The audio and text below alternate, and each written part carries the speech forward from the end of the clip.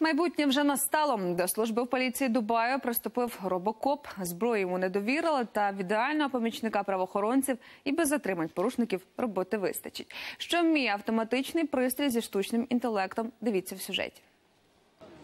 На нього одягають кашкет і урочисто приймають на службу. Цей робокоп перший у поліції Дубаю. Він патрулюватиме вулиці на рівні з іншими колегами. Пристрій зі штучним інтелектом розмовляє шістьма мовами, зокрема арабською та англійською. Також вміє щитувати міміку та жести, адже обладнаний детектором емоцій.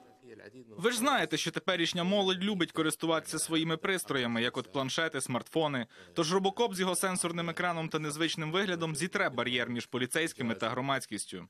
Вмонтовані камери ведуть запис безперервно. А за допомогою програми розпізнавання облич робокоп зможе ідентифікувати злочинців чи людей у розшуку.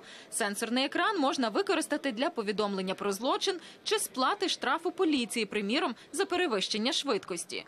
Він має багато переваг. Передовсім, здатність працювати 24 години на добу. Також не просить ані відпочинку, ані перерви на перекур. Справжніх поліцейських робот не замінить. Зокрема, він аж ніяк не впорається із затриманням підозрюваного. Втім, стане у пригоді на місці злочину, ретельно зафіксує всі докази.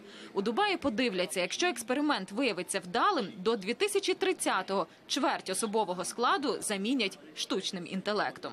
Світлана Чернецька, новини, телеканал Інтер.